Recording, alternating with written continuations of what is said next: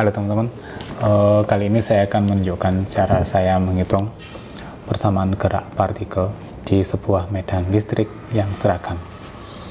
Seperti ini. Uh, jika kita menemui sebuah partikel di sebuah medan listrik yang seragam, maka dia akan uh, menderita gaya Fe, gaya listrik, gaya kolom kita sebesar muatan itu yang dikalikan dengan medan listriknya di tempat itu. Ya sama dengan M kali A ya. Oke sebenarnya persamaan ini tidak hanya melulu di medan listrik yang seragam. Jadi jika kita punya dua muatan maka mereka juga akan mengalami gaya kolom juga kan? Nah bedanya apa dengan kalau medan listriknya seragam? Jika medan listriknya seragam gayanya akan konstan karena E nya akan konstan. Kalau yang di dua muatan itu medan listriknya tidak seragam kan? Sama juga gayanya juga tidak seragam sehingga ketika salah satu bergerak atau dua-duanya bergerak maka jaraknya sudah berganti dan gayanya sudah lain lagi. Nah hitungannya akan lebih rumit. Nah jika medan listriknya seragam perhitungannya akan lebih mudah. Nah di sini jika kita punya gaya maka kita akan punya percepatan gampang sekali jadi percepatan adalah muatan partikel itu dikalikan medan listrik seragam itu dan dibagi dengan e, massa dari muatan. Contohnya seperti ini.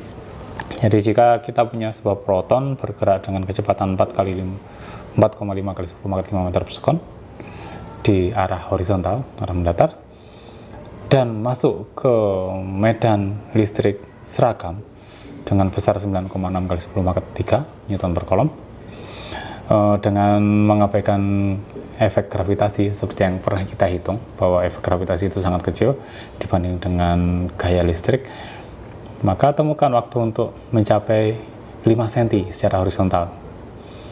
Kemudian uh, jika secara horizontal 5 cm vertikalnya berapa jadi waktu ketika secara horizontal 5 cm vertikalnya itu berapa uh, jelas karena jika medan listriknya ke atas, maka dia akan mengalami percepatan ke atas juga karena dia proton, elektron kebalikannya. Kemudian komponen kecepatannya vertikal dan horizontal setelah 5 cm ya, setelah dihitung ya. Oke, pertama kita punya sebuah proton bergerak horizontal dan memasuki medan listrik vertikal seperti ini. Perhatikan bahwa ketika dia masuk, maka dia akan mengalami percepatan ke atas sehingga awalnya lurus ke kanan, maka dia akan lambat laun naik. Dipercepat, dipercepat. Bukan V-nya naik konstan, tapi dipercepat sehingga V-nya berubah. Oke. Nah, e, kita akan tahu percepatan ke atasnya Q kali E per M. Q-nya adalah muatan proton, E-nya adalah medan listriknya, dan M-nya adalah massa proton. Hasilnya adalah 9,6 kali 10 pangkat 11 meter per sekon. Besar sekali. Kali 10 banget 11 ya. Oke. Sekarang bagaimana dengan kecepatan uh, horizontalnya? Dia tetap karena medan listriknya arahnya vertikal sehingga arah horizontalnya dia tidak terpengaruh sama sekali sehingga kecepatan horizontalnya tetap konstan.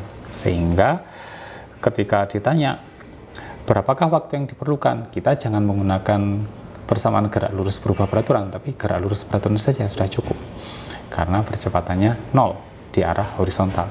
Sehingga kita perlu oke okay, X per V saja. Sehingga kecepatannya adalah 1 kali 1,11 kali 10 pangkat min 7 sekon. Waktunya sangat singkat sekali. Ya kecepatannya sangat besar. Baik kemudian uh, bagaimana dengan arah vertikalnya uh, kita sudah punya percepatan dan kita sudah punya waktu Oh, tadi yang ditanyakan 5 cm horizontal, berapakah vertikalnya? Jadi waktunya sama dengan yang ditempuh secara horizontal 5 cm.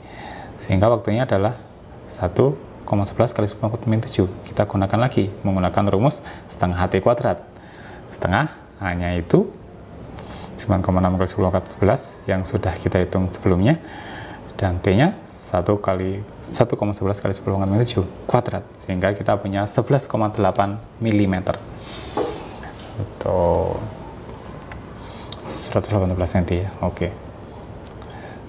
Seperti itu.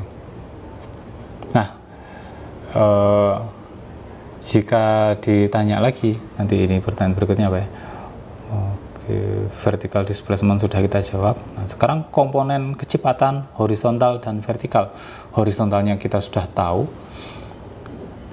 4,5 nah vertikalnya gimana? Ya untuk vertikal mencari kecepatan saat 5 cm horizontal berapa kecepatannya saat di vertikal?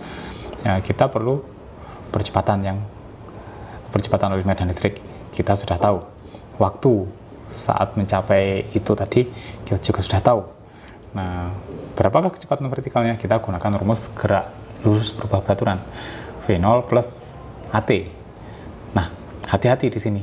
Karena V0 nya bukan ini ini adalah V0 horizontal. Untuk ke arah vertikal V0 nya berapa? 0 karena sebelumnya tidak ada percepatan uh, dari medan listrik.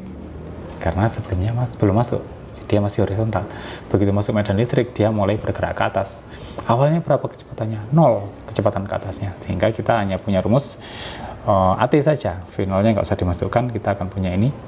Ternyata kecepatannya 10,65 kali 10 kali 4 atau 1,65 kali 10 kali 5 paket 5 sehingga jika kita gabungkan kecepatan horizontal uh, horizontal dan vertikal maka kita akan punya komponen X nya adalah 4,5 komponennya 1,065 kali 10 kali 5 meter per sekon. Persamaan geraknya. Sudah ketemu semuanya. Oke. Demikian singkat ya. Oke. persamaan gerak cara menghitung persamaan gerak atau cara mencari kecepatan dan posisi sebuah partikel bermuatan di medan listrik seragam